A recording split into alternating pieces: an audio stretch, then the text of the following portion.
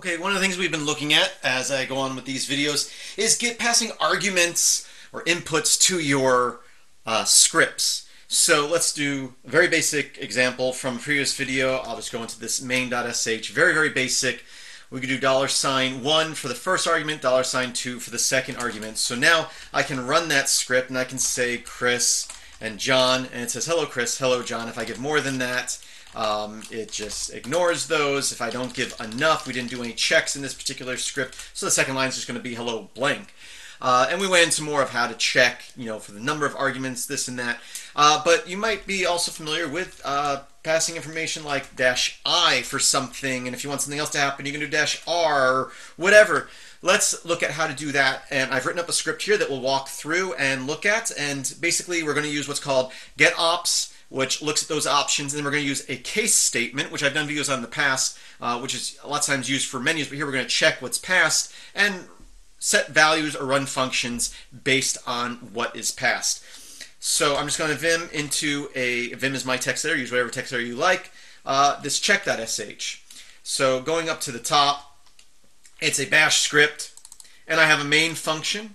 That main function we'll call the check function, and then it will also run something after that to show that stuff set here. Can go up here. If you go down to the bottom, this is where we're calling the main function. We're, we're writing it up top, but we're actually running it down here. This dollar sign at symbol, basically, uh, if I wanted to, um, and I should have went over this more in detail in a, diff in a different video, but we'll go back to our main script here.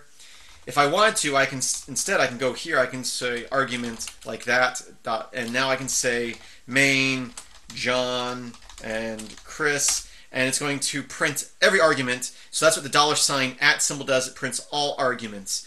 So what I'm doing here, oops, not that script, but the other script, we're saying, okay, all arguments that are passed to our script, now pass them to the main function.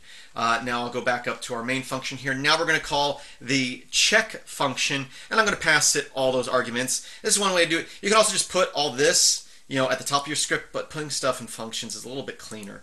Uh, so we're passing all those arguments to this check function. And uh, we're going to set some local variables here, OPTIND, uh, opt, and i. And then we're going to uh, go through a loop. We're going to loop through each one of these and see if they match the option passed. So opt gets is a function that's going to look at all those uh, variables that start with dash. So let's, let's quickly look. We have I, C, M, N, and backslash dollar sign. Let's just run the script a couple of times and see what we get. So I can go check and I can do C. Actually, it's dash C. And it says C is a good option. No input file. I can do, uh, what was another one? M. It says M has been chosen, again with no input file. Uh, if I can do I, I says no input file, but if I go I and say give it some text, it says uh, you chose I, input is Chris. Okay, so, and if I give it an option that isn't one of those options, like H or anything else, it's going to print out our help function. We'll look at that more. So it's not just H, but if I just do anything, uh, M is an option. Let's try K is not an option. And I can do even, um, you know options that are in there like C and M but if I have K in there it's it's going to go through that and when it gets that option it's going to run that help function because it's like K is not an option. Let's go ahead and look a little bit more at how this works. Again at this point after we run getopts and give it our options starting with the colon here and then other options. Now why is there a colon here? Well any of these with a colon after it is saying there should be some sort of argument after that switch. So we're saying I, which is looking for an input, it's looking for text after that. So that's why we have that uh, semicolon there, or not semicolon, but colon there.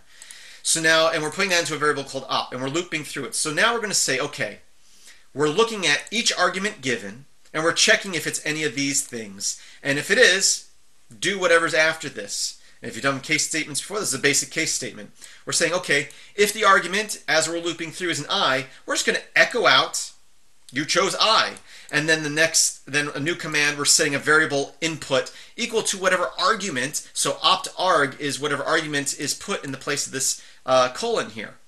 Uh, so we're echoing that out. And then later on in the script down here, we're checking our input And as long as input is not blank, we're going to print out, echo out, input is input.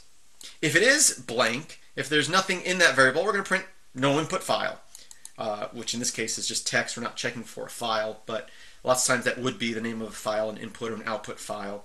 Uh, now, if it's C, we're just going to echo out C as a good option. If it's M, we're going to set M to true. And then back up in our main function, when we get out of this check function, now we're going to say if M, so if it's true, we're going to echo out M has been chosen. But if it isn't set to true, it's just going to not print that. If n is an option, it's just going to run the n function, nfunc, which is down here. And there can be any number of commands in this function. And I'm just giving you different options on how you can use these here. And then backslash eight, uh, dollar uh, question mark, that's a question mark, not a dollar sign. Um, it's going to run the help function, which basically the backslash h is if it's anything other than those options, it's going to exit, or it's going to run that function. And in this case, I say exit, uh, which is interesting because because uh, if I don't do that exit, it will print the help function. So if I get rid of that, so here's an example. I go through here and I say CKM. Let's clear the screen. CKM. C and M are options. Here it's going to say C is an option. This is going to print our help file, but never get to the M because we exit out before we get there. If we go back in here and I remove this exit saying that it failed and run that same thing again, it will say C is an option, print our help function, then it will print no input file because there was no input file, and then it will print our function that happens when M is chosen. So because I had to exit there, it exits out before I get there. So it all depends on what order things need to come in your script.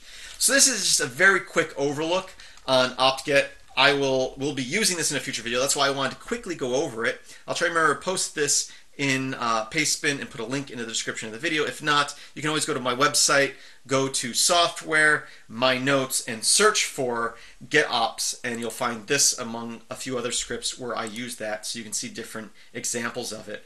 Uh, oh, by the way, yeah, this shift uh, is just shifting the index of what we're searching through in the GetOp, I believe. Yes.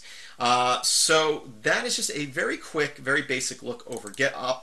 It might seem a little confusing at first, but really the majority of it is a case statement, uh, which I should use case statements a little bit more, uh, but they're pretty straightforward. It's kind of like an if-then statement, but with things in a list, um, like so. And a lot of times case, I use case for menus, where here it's not a menu, we're just looping through all the arguments or switches past, whatever you want to call them. There's probably technically a difference. And again, the colon here is saying anything past after i, it should be looking for an input. And here we're saying, you know, input is just why I'm calling the variable. You can call it anything you want, but the the what's in this spot past the i is the opt arg. Uh, so it's the argument passed to the getopts function. That's it. Again, we're going to be using this in a future video, so I want to go over it real quick. I do thank you for watching, and I hope that you enjoy it. I hope that you watch more of my videos, and I hope that you have a great day. Thank you.